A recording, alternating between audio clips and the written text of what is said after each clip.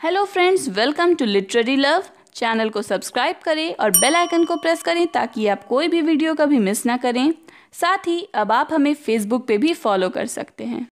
Friends आज की video में हम बात करेंगे विलियम ब्लेक की एक बहुत ही फ़ेमस पोएम के बारे में, जिसका नाम है द चिमनी स्वीपर ये पोएम उनकी कलेक्शन सॉन्ग्स ऑफ़ एक्सपीरियंस में 1794 में पब्लिश हुई थी।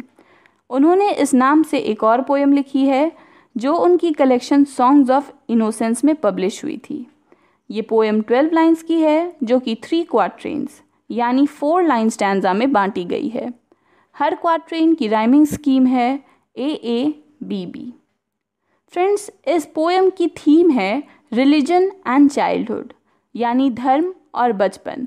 किस तरह बचपन पर धर्म का असर होता है कैसे रिलीजन जो है वो छोटे छोटे मासूम बच्चों को परेशान करता है, उसके बारे में ये पोयम है। इस पोयम में एक बच्चे के जीवन को बताया गया है, जिसके माता पिता ने उसे चिमनी स्वीपिंग के काम में लगा दिया है। वो बच्चा इस बात से बहुत उदास है और साथ ही कंप्लेन करता है कि किस तरह उसका पूरा शरीर उन चिमनीस की गंदगी से ढका हुआ है। साथ ही वो ये भी कहता है कि जो रिलीजन और सोसाइटी है इन दोनों ने इसे मजबूर कर दिया है। इतना दबाया है कि अब उसे ये काम करना पड़ रहा है और उन्होंने ही उसकी ये हालत कर दी है। फ्रेंड्स, विलियम ब्लेक एक इंग्लिश पोइट थे जो रोमांटिक एज से बिलोंग करते थे। उनकी बर्थ हुई थी 28 नवंबर 1757 में और उनकी डेथ हुई थी 12 अगस्त 1827 में। वो सबसे ज़्यादा फ़ेमस हैं अपनी work songs of innocence and of experience के लिए। जिनमें उन्होंने बहुत सारी पोएम्स लिखी है, ये पोएम्स की कलेक्शन है।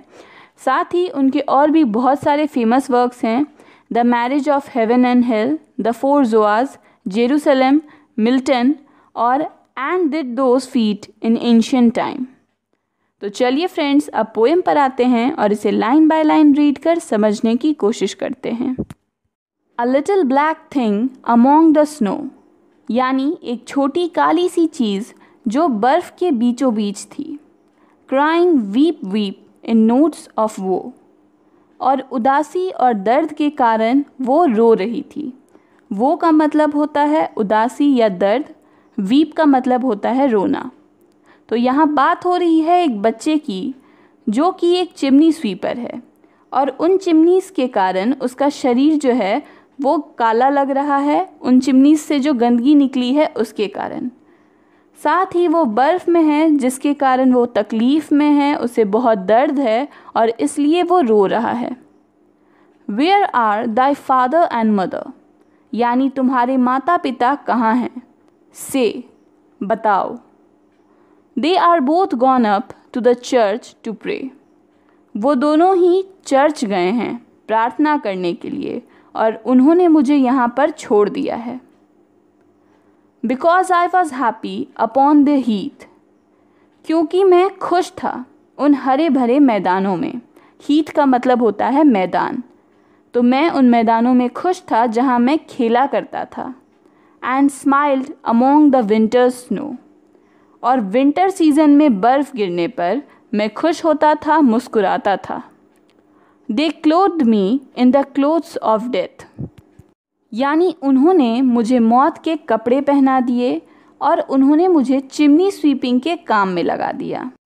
उन्होंने मुझे चिमनी स्वीपिंग के काम में लगा दिया और मुझे ये dress they the.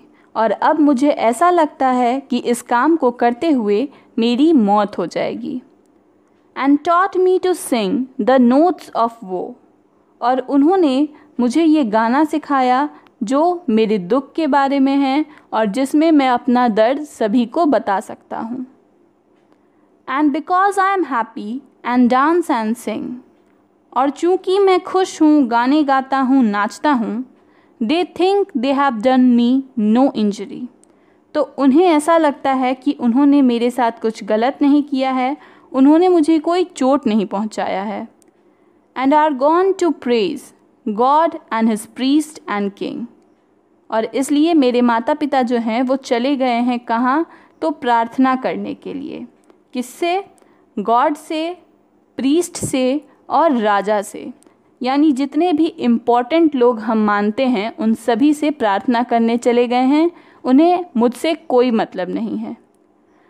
Who make up a heaven of our misery और वो सभी लोग जिन्होंने एक नकली और झूठी हेवन बनाई है जो हमारे जैसे लड़कों के पेन और सफरिंग के लिए है। वहाँ हमें कोई मुक्ति नहीं मिलती है। उल्टा हमें और भी ज़्यादा सफरिंग मिलती है और भी ज़्यादा पेन मिलता है। फ्रेंड्स यहाँ पर ये पोएम ख़त्म होती है। इस पोएम में एक चिमनी स्वीपर के बारे में बताया गया है, जो कि एक छोटा बच्चा है। उसके माता पिता ने उसे चिमनी स्वीपिंग के काम के लिए बेच दिया है और वो बहुत ही उदास है, तकलीफ़ में है। क्योंकि उसे ये काम नहीं करना है, बल्कि वो खुले मैदान में दौड़ना चाहता है और विंटर में जो बर्फ़ गिरती है, उसे इंजॉय करना चाहता है। मगर उसके माता पिता ने उसे इस काम में लगा दिया है। साथ ही उसे एक ड्रेस दिया गया है, जो उसके हिसाब से क्लोथ्स ऑफ़ डेथ है, क्योंकि उसे लगता है कि ये काम करते करते इन्हीं कपड़ों में उसकी मौत हो जाएगी। तो फ्रेंड्स ये थी विलियम ब्लेक की पोएम द चिमनी स्वीपर